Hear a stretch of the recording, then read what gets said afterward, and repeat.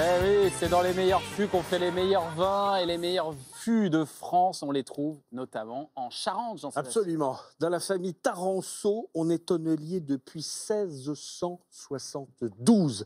La société que nous allons découvrir a été créée en 1952. Roger Taranceau s'est installé en Charente, à Merpin, très exactement.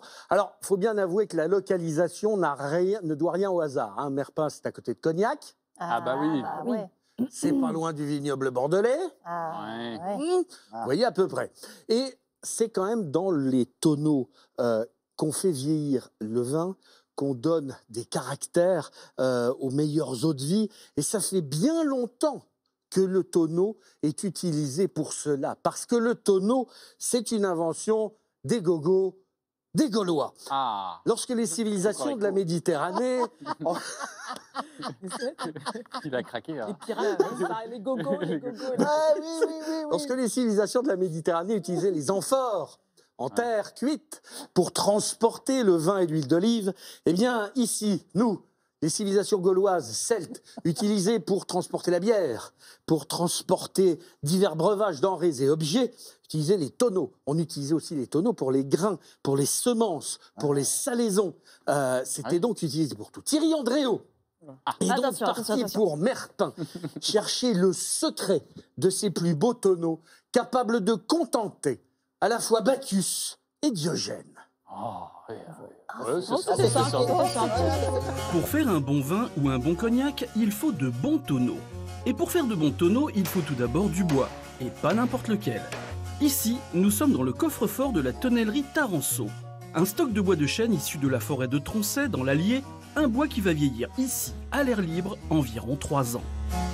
Ce bois n'est pas là par hasard. Nous avons besoin d'un processus euh, de vieillissement des bois qui consiste en plusieurs choses. D'une part, sécher le bois parce qu'on a besoin de stabiliser la matière, mais aussi provoquer un développement lent de la microflore. Cette microflore constituée de bactéries, levures, champignons qui vont affiner le bois. C'est un vrai affinage, comme, euh, une cave de fromage. Ce bois de chêne vieilli, une fois décapé, sera découpé en fines lamelles que l'on appelle des duels. Chacune a un profil différent.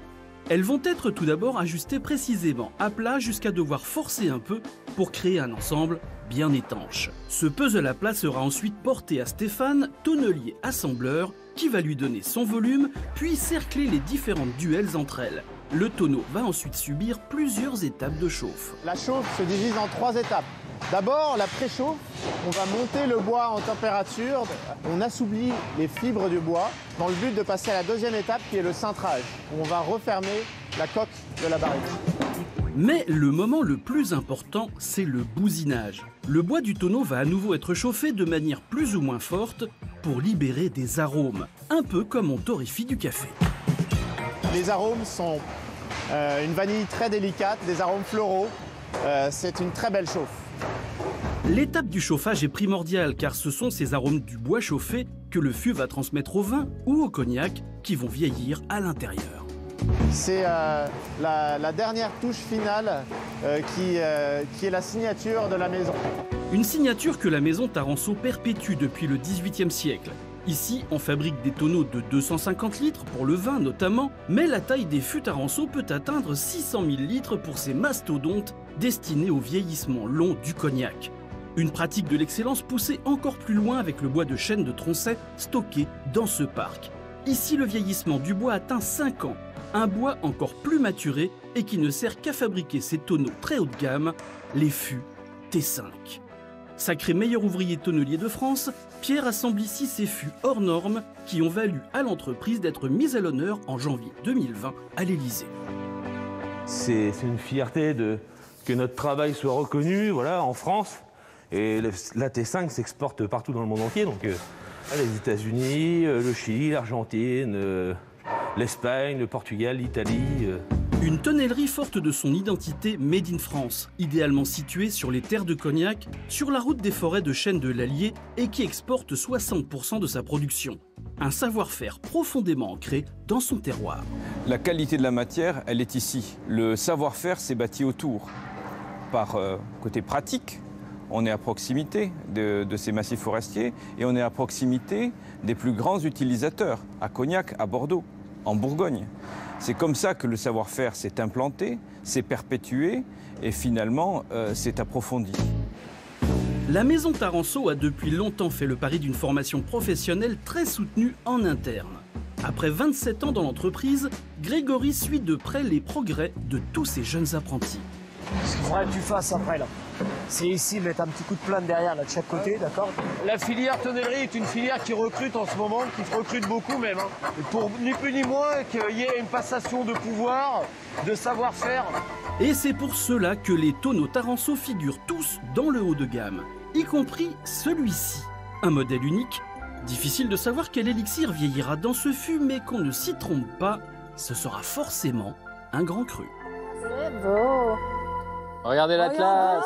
Il est là, ce tonneau Taranceau. On les remercie hein, pour ce beau cadeau. C'est magnifique. Que les choses soient claires. hein. Bon, C'est pour toi. euh. S'il y, a, s'il y a une chose qui doit vieillir, Là, il plaisante se pas. là. bonifier dans ce tonneau de chez Taranceau, c'est moi. D'accord. Tu vas rentrer dedans? Je vais me glisser dedans. Il est plein Il est plein. Il est plein? De cognac. Le coffre-fort qu'on a vu au début de- de- du reportage, le fameux coffre-fort de chez Taranceau, euh, c'est 12 hectares.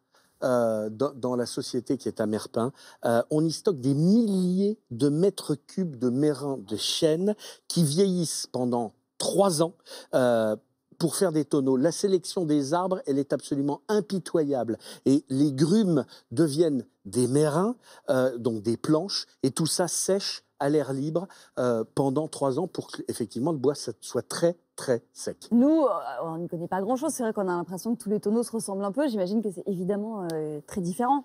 Ben, on on- on l'a vu, et il y a, il y a- alors faire un tonneau, c'est effectivement, moi j'adore ça parce que quand vous passez la main, tout ça sont des planches qui sont assemblées, on a l'impression que c'est fait d'un seul tenant. Oui, c'est totalement, il n'y a aucun joint, on ne sent absolument rien, c'est lisse, c'est doux. Et l'art de la chauffe, notamment qu'on a vu, fait partie euh, des moments indispensables. Chaque client, chaque terroir, chaque cépage euh, mérite un tonneau différent. L'art, l'étape du bousinage, on a vu, c'est sans doute l'étape la plus importante euh, de, là pour révéler euh, les arômes euh, du bois qui va donner tel ou tel vin. C'est la deuxième chauffe du tonneau.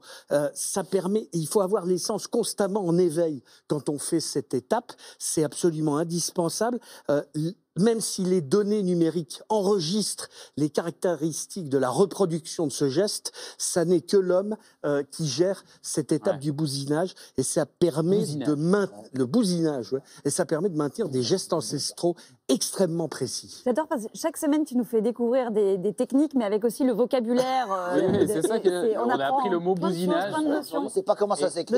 Et en général, tu nous dis qu'il y a de l'innovation. Est-ce qu'il peut y avoir de l'innovation dans le domaine des tonneaux Alors, c'est c'est- toujours la même Ça chose paraît le et pourtant le, le service recherche développement chez Taranceau, euh, il est absolument essentiel. On a vu le, le T5 dans le reportage. Ouais. Il y a également le fût pur T, Euh, le Taranceau pur T.